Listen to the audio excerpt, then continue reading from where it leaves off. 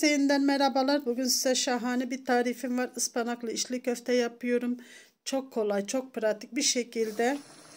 Hem sebzeli tarifini yapacağız, hem de kızartmasını yapacağız, hem de hiç hamuru yoğurmadan, yorulmadan robotta 5 dakikada hamurumuzu yoğuracağız.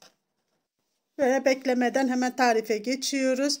Bunun için önce hamurumuzu yapıyoruz. Hamurumuzu yapmak için de Önce seferkiteli size göstermek istiyorum. Diğer tariflerimi izleyenler bilirler. Seferkiteli hep içli köftelerde kullanıyorum. Seferkitel yarmanın incesidir arkadaşlar. Yani aşurelik bulgurun öğütülmüş halidir. Ve artık rahatlıkla her yerde, her markette bulabilirsiniz. Ve içinde taşlar varsa taşlarını ayıklayın arkadaşlar. Böyle minik minik taşlar oluyor. Onlar dişe geliyorlar. Onları ayıklayın. Bir su bardağı seferki kemik kaseme aldım. Üzerine 2 su bardağı bulguru köftelik bul, bulguru ekliyorum. E, seferkitel bulamazsanız da e, aynı ölçülerde irmik kullanabilirsiniz arkadaşlar. Ve bir e, tatlı kaşığı kadar tuzumu da ekledim. Karıştırıyorum. Her zaman tuzumuzu bulgurla beraber koyuyoruz arkadaşlar. Çünkü sonradan eklediğimizde güzel olmuyor. Ve şimdi ıslatıyoruz. Bir bardak sıcak suyu koydum. Karıştırıyorum kıvamına bakıyorum. Yarım su bardağı daha ekliyorum. Tekrar karıştırıyorum kıvamına bakıyorum. Kısır gibi ıslatıyoruz arkadaşlar. Yani hamurumuzu bulgurumuzu önce şişiriyoruz. İyice karıştırdıktan sonra dinlenmeye bırakıyoruz. Yani o kadar kolay yoğuracaksınız ki saatlerce uğraşmanıza hiç gerek kalmayacak. İçinde yumurta yok, içinde un yok. Yumurta ve et yemeyenler için şahane bir tariftir arkadaşlar. Ve şimdi iç malzemesini hazırlıyoruz. 400 gram e, kuru soğanımı bu şekilde alacağım. Küçük küçük doğrayacağım. Özellikle tartıyla göstermek istedim. 3 orta boy soğan, 2 küçük soğan demek istemedim. O yüzden tartıyla size göstermek istedim. 400 gram soğanımı ince ince doğruyorum. Çok ince olmasına da gerek yok. Hafif içinde görün, görünebilir soğanlar. Kıymalı içli köfte harcı yapar gibi doğruyoruz arkadaşlar. Ve şimdi tavama geçiyorum. Tava ocağı aldım. Altına açtım. Soğanlarımı ekliyorum. Ve üzerine sıvı yağımı ekleyeceğim. Yarım, su, e, yarım çay bardağı kadar sıvı yağımı ekliyorum. Soğanlar hafif kavrula dursun. Bu arada iç malzemesine koyduğumuz naneyi göstereceğim arkadaşlar. Taze nane kullanıyorum. Temiz yıkadım. E, sap kısımları sert olduğu için onları ayıklıyorum. Temiz yapraklarını aldıktan sonra sap kısımlarını kenarına ayırıp, ayırıp doğruyoruz. İri iri doğruyoruz. Zaten suya değdiği gibi sıcak suya değdiği gibi büzüşüp küçülüyorlar.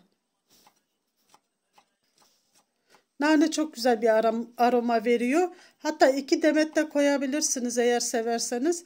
Gerçekten çok güzel oluyor. İçinde tavsiye ediyorum mutlaka nane koyun. Bu içli köftenin yani iç malzemesi çok önemli. Ve 400 gram da ıspanak kullanıyorum. Ispanaklarımı yıkadım, kuruladım ve doğradım arkadaşlar. Ve ya nanelerimi de üzerine ekliyorum. İsterseniz maydanoz da koyabilirsiniz.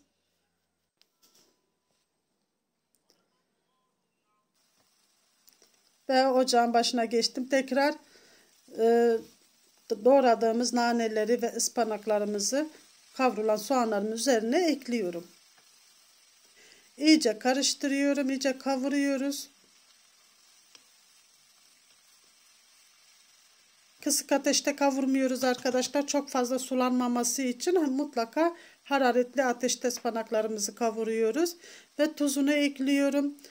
Ve sumak ekliyorum. Sumak o kadar yakışıyor ki çok güzel bir aroma veriyor. Sumak da çok güzel oluyor. Mutlaka sumak koyun.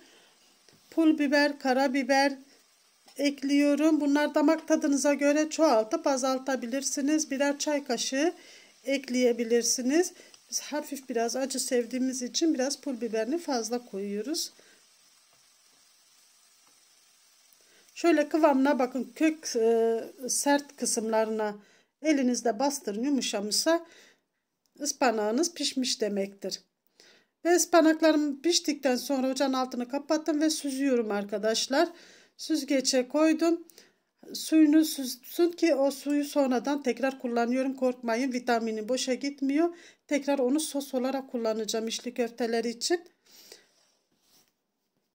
Ve ıspanaklar süze dursun. Biz hamurumuzu yoğurmaya başlayalım.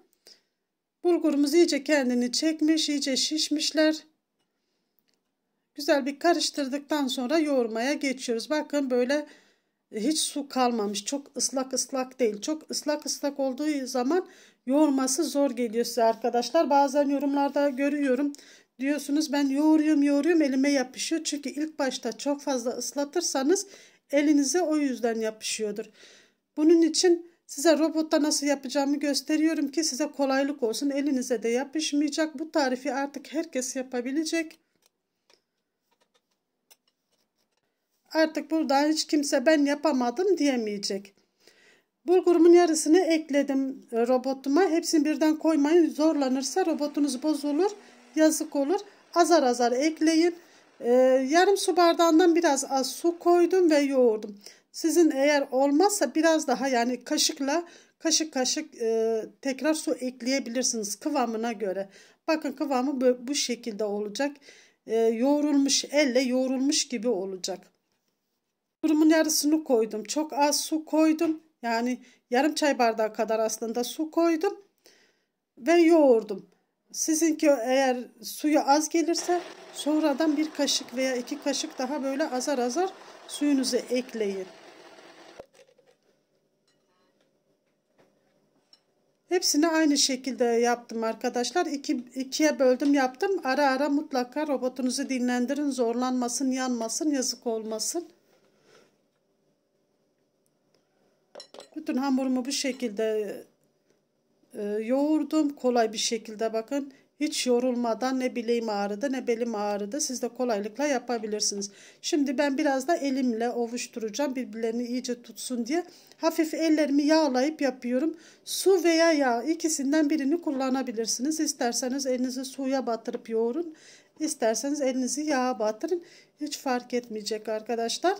Sadece elimize yapışmaması için bunu işlemi yapıyoruz. Eğer size hamurunuz sert gelmişse ıslatabilirsiniz. Suyla ıslatın elinizi daha güzel olur. Böyle bir, bir dakika kadar elimle de yoğurduktan sonra toparladıktan sonra kıvamına baktım. İçli köfte gibi açılıyor ve e, içli köftelerimi yapmaya başladım. Şimdi ceviz büyüklüğünde parçalar koparıyorum. El hareketlerime mutlaka dikkat edin arkadaşlar. Mutlaka videoyu ayrıntılarını kaçırmamak için e, ayrıntılı izleyin, atlamadan izleyin lütfen sizden rica ediyorum. Bazen benim bile bilmediğim sorular soruyorsunuz arkadaşlar. Veya videonun içinde defalarca anlattım. Aynı şeyleri tekrar tekrar soruyorsunuz. Onun için lütfen videoyu atlamadan izleyin. El hareketlerime dikkat edin. Yo, hamur yoğururken nelere dikkat ettiğime iyice bakın. Neler yaptığıma iyice dikkatlice bakın. O zaman Gerçekten çok güzel yapacaksınız. Atlayarak izlediğiniz zaman kaçırıyorsunuz ve e, benimki olmadı diyorsunuz. Yani benim hamurum olmadı diyorsunuz. Çatladı diyorsunuz. Bakın benimkiler hiç çatlamıyor, hiç dağılmıyor, hiçbir şey de olmuyor. Aynı tarifi veriyorum size. Kendi yaptığım, sattığım müşterilerime verdim. Tarifi birebir size veriyorum arkadaşlar. Ve bir şey daha söyleyeyim. Eğer sizin hamurunuz tutmuyorsa bir kaşık un ekleyebilirsiniz arkadaşlar. Bütün püf noktalarını söyledikten sonra hemen e, nasıl yaptığımı da göstereyim. Bir tane ceviz büyüklüğünde bir parça kopardım hamurundan ve açtım. içine bir buçuk e, tatlı kaşığı ıspanağı koydum. Hani içli köfte normal içli köfteyi kapatır gibi kapattım ve sonra ellerimle bastırıyorum. El hareketlerime çok dikkat ederseniz aynısını birebir aynısını yapacaksınız arkadaşlar. Tekrar bir tane daha gösteriyorum. Önce elimde birkaç defa çeviriyorum. Elime alıştırıyorum hamuru. Mutlaka bunu yapın arkadaşlar. Eliniz o hamurunun büyüklüğüne, küçüklüğüne alışıyor. O top haline alışıyor. Ona göre elleriniz zaten kendiliğinden hareket ediyor ve baş parmağınızla böyle içe baş parmağınıza içe diğer parmaklarınızı da dışa bastırın. Önce alt kısımdan başlayın sonra üstlere doğru çıkın.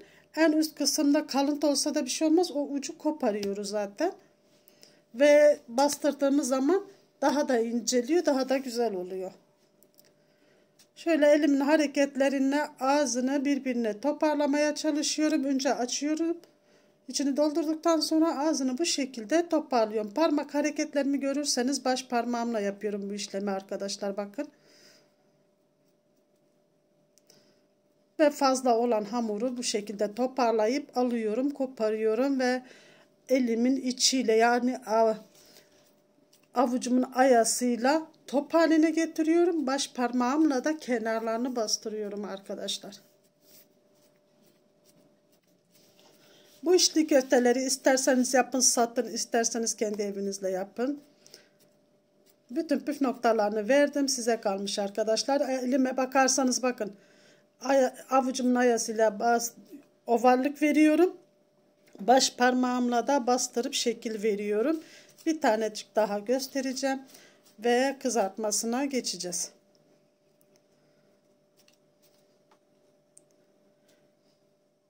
Buraya kadar izlediyseniz kanalıma abone olup zil bildirimi açarsanız videolarıma destek olursanız çok sevinirim.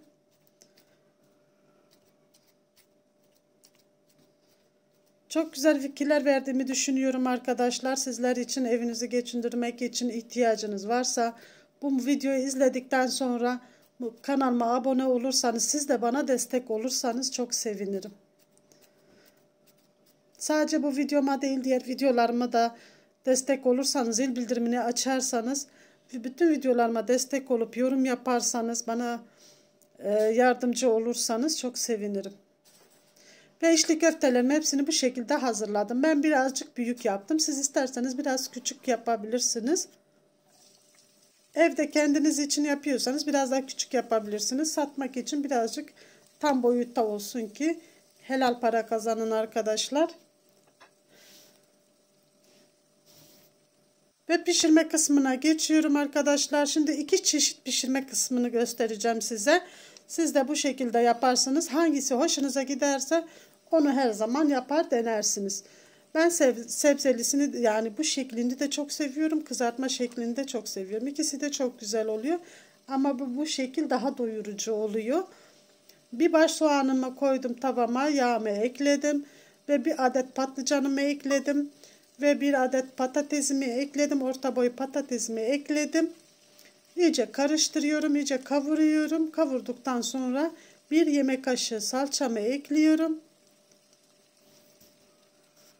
Ve baharatlarımı ekliyorum. Karabiberimi ekledim. Zerdeçalımı ekliyorum. Ve toz sumağımı ekliyorum. Tuzumu ekliyorum. Ve biraz pul biberi ekledikten sonra iyice karıştırıyorum. Salçanın çiğ kokusu gidene kadar. Ve ıspanağın süzülen suyunu üzerine ekliyorum.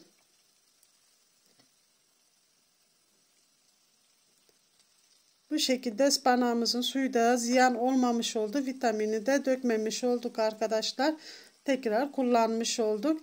Salçayı tekrar biraz kavurduktan sonra üzerine kaynar su ilave ediyoruz.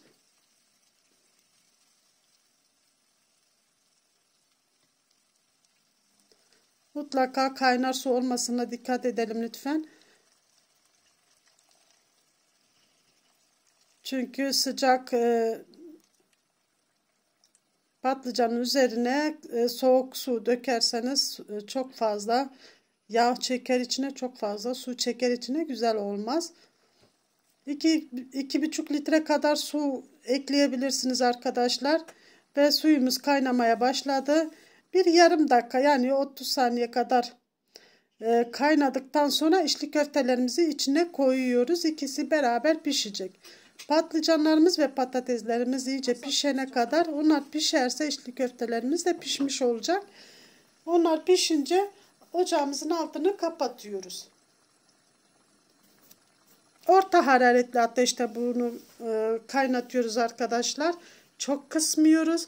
Çok harlı ateşte olmamasına dikkat ediyoruz. Ve üzerine yine bir avuç kadar nane, taze nanem e, üzerine ekledim. ve kıvamına bakıyoruz. 10 dakikadır kaynıyor arkadaşlar. 10-15 dakika arasında kaynıyor. Yani patlıcan ve patatesler pişene kadar. Kontrollerimizi sağladıktan sonra ocağımızın altını kapatıyoruz ve kızartma işlemine geçiyoruz. Dedim iki çeşit yapıyoruz. E, haşlamasını yani sebzelisini size gösterdim. Şimdi kızartmasını gösteriyorum. Hiçbir işlem yapmadan, hiçbir şey yapmadan direkt yağın içine atıyorum. Yağımı önce kısık ateşte kızdırdım. Sonra altını açtım. Yüksek ateşte aldım ve içli köftelerimi içine aldım. Ve kızarana kadar alt üst pişiriyoruz. Bak görüntüde gördüğünüz gibi hiçbir çatlama olmadı. Hiçbir şey saklamıyorum sizden arkadaşlar. Hepsini anlatıyorum size. Çatlama yok, patlama yok, hiçbir şey yok. Un yok, yumurta yok, hiçbir şey yok içinde. Sadece bulgur, su ve tuz. O kadar ve hiçbir şey olmadı. Hamurunuzu dikkatlice yaparsanız, videoyu dikkatlice izlerseniz siz de aynısını yapabilirsiniz. Ve gördüğünüz gibi her iki yemeğim de hazır. Bu sulu sebzelisi olan şahane oluyor arkadaşlar. Çok güzel oluyor. Kızartma olan da çok güzel oluyor. Kızartma olan soğudukça güzelleşiyor arkadaşlar. Soğudukça yemesi daha güzel oluyor. Hoşuma gidiyor. Şöyle kıvamını da göstereyim size. Kızartmasını da göstereyim. Dışı çıtır çıtır. Bakın içi de çok güzel oldu. İsterseniz satın isterseniz evde kendiniz için pişirin şahane oluyor. Deneyen ve yiyen herkeslere afiyetler olsun. Kanalıma abone olup zil bildirimini açıp videolarıma destek olun lütfen. Hepiniz Allah'a emanet olun. Görüşmek üzere inşallah.